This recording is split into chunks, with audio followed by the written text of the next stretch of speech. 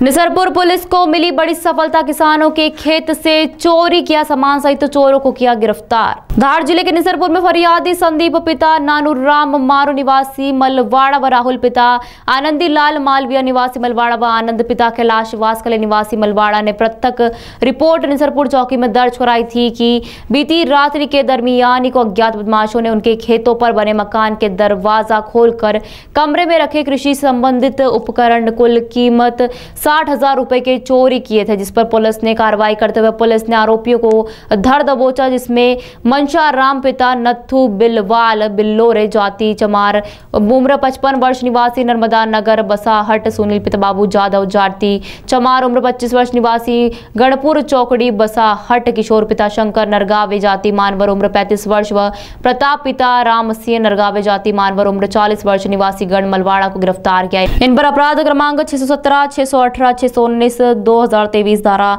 चार सौ सत्तावन, तीन सौ अस्सी भादवी का पंजीबद्ध कर विवेचना में लिया फरियादियों का। चोरी किया गया माल, कीमती करीबन साठ हज़ार रुपए का मशरूका व आरोपी किशोर की घटना में प्रयुक्त सीडी डिलक्स मोटरसाइकिल जब्त की गई है।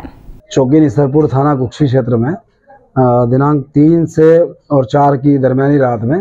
कुछ किसानों के द्वारा रिपोर्ट दर्ज कराई गई थी कि उनके खेतों से खेती खेती में उपयोग होने वाला पाइप और इस टाइप का जो मटेरियल है कृषि उपकरण वो चोरी हुए हैं। उसको लेकर के पुलिस ने जो है वो कायमी करने के पश्चात तत्परता से पुलिस अधीक्षक महोदय श्री मनोज कुमार सिंह साहब के निर्देशन में और एडिशनल एसपी श्री बाकलवाड़ साहब के मार्गदर्शन में थाना प्रभारी कुक्षी और चौकी प्रभारी निसरपुर दोनों के द्वारा अलग अलग टीमें बना करके कुछ ही घंटों में इन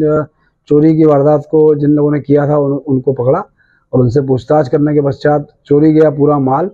करीब साठ हज़ार रुपये का कृषि उपकरण है और एक मोटरसाइकिल जो चोरों के द्वारा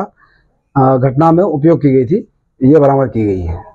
माल पूरा बरामद हो गया है, मोटरसाइकिल भी बरामद हो गई है और भी इनसे चोरी की वारदातों के बारे में पूछताछ की जा रही है।